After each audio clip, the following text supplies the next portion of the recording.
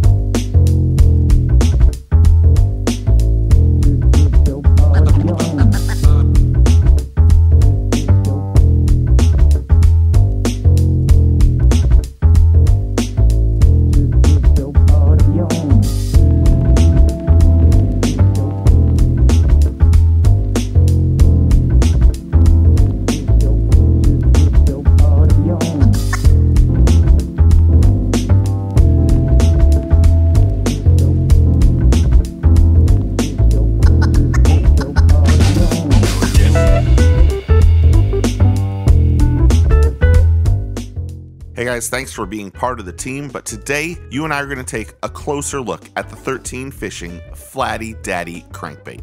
By now, you should know the drill. Click the subscribe button, like, comment, and click the notification bell so you know when the next video drops. The 13 Fishing Flatty Daddy is a flat sided crankbait.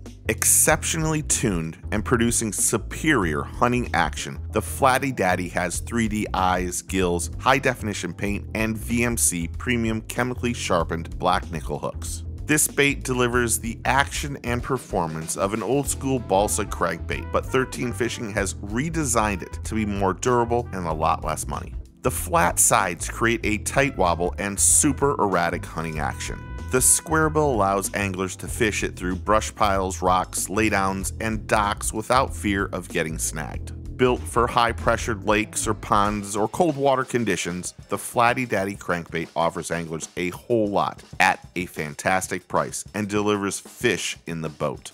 The Flatty Daddy crankbait is two and a half inches in length, weighs one half ounce, and dives three to six feet deep. The Flatty Daddy crankbait comes in three colors and retail price is $6.99. For more information, go to 13fishing.com or tacklewarehouse.com. We are done. That is it. Quick and easy. Hopefully, you subscribed, click the notification button, and like and commented. We need you part of our team. Again, thanks for watching our closer look of the 13 Fishing Flatty Daddy. Let's remember to do a few things. Take a kid fishing, get your fish on, we will see you soon. Cheers.